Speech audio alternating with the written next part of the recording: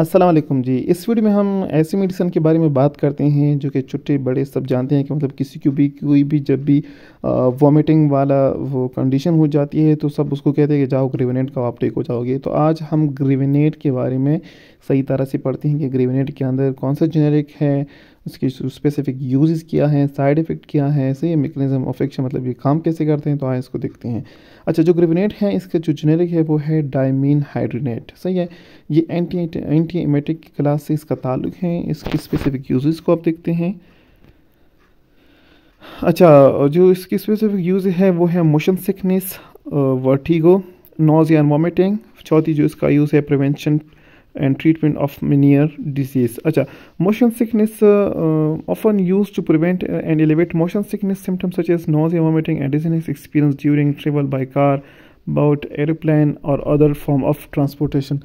अच्छा जो ट्रांसपोर्टेशन की वजह से मतलब कोई भी जब एरोप्लेन में जाता है या कोई उसको कार वगैरह में जब जाते हैं तो उसको एक मोशन सिकनेस की वजह से उसको नोजिया वॉमिटिंग या डिजीनेस की इस तरह की कंडीशन हो जाती है तो उसकी मैनेजमेंट के लिए हम इसको यूज़ करते हैं। आप लोग जब कहीं जा रहे होते हो और आपको नोजिया वॉमिटिंग आती है तो आप लोगों ने ग्रेवेनेट को यूज़ करनी होगी। सही है? अच्छा वटीगो में भी हम इसको यूज़ करते हैं। वटीगो मीन्स कि उसकी जब किसी को चक्कर आ रहा होता है सही है तो इसको हम डायमिन हाइड्रेनेट को यूज़ करते हैं। मीन्स ग्रेविनेट को हम यूज़ करते हैं dimenhydrinate can be prescribe to alleviate symptom of vertigo sensation of spinning और dizziness that can occur due to inner ear disturbances और अदर फैक्टर्स अच्छा कोई भी फैक्टर्स या कोई मतलब इनर एयर एयर की में कोई भी डिस्टर्बेंस हुई हो तो उस वजह से डिजीनेस और स्पेनिंग मतलब कोई चक्कर की इस तरह कंडीशन हो जाती है तो उसमें हम इसको यूज़ करते हैं।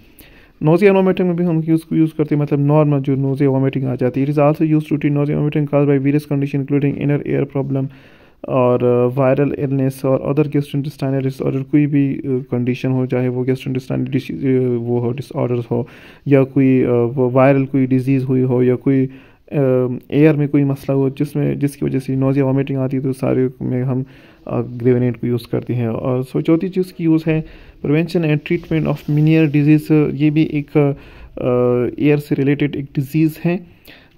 तो इसको सही देखते हैं। Meniere disease is a disorder of the inner ear characterize by vertigo hearing loss tinnitus and feeling of fullness और प्रेशर इन द एयर अच्छा एक एयर डिज़ीज़ है जिसमें टिनाइटस होता है हेयरिंग लॉस हो जाती है वर्टिग हो जाता है तो उसी की प्रिवेंट करने के लिए भी हम इसको यूज़ करते हैं। अच्छा इसका मैकेनिज्म ऑफ़ एक्शन है dimenhydrinate by work by blocking work by blocking histamine receptor in the brain particularly in the vomiting centre जिसको सी पी जेड कहते हैं। जेड में which helps elevate nausea and vomiting additionally it has anticholinergic properties that contribute to its anti anti emetic effect असल में तो ये anti histamine की class से इसका ताल्लुक है, लेकिन एडिशनली ये एंटी कोलिनर्जिक प्रॉपर्टी भी इसके अंदर है तो इसी वजह से ये एंटी एमेटिक इफ़ेक्ट शो करते हैं।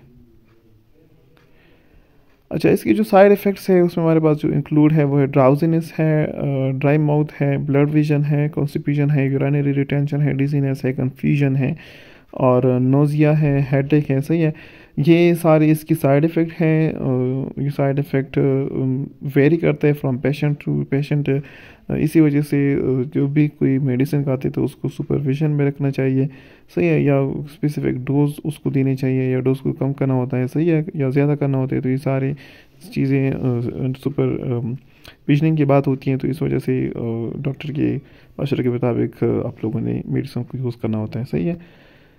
तो इन मिलते रहेंगे नेक्स्ट वीडियो के साथ, और आई होप आप लोगों की इसकी समझ आ चुकी होगी so thank you so much for your attention